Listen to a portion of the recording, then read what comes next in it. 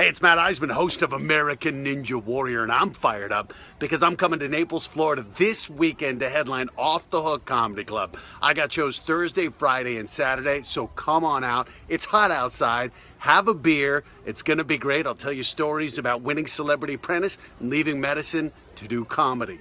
You're going to have a blast because I'm going to be funny, and you're going to be drunk. See you this weekend.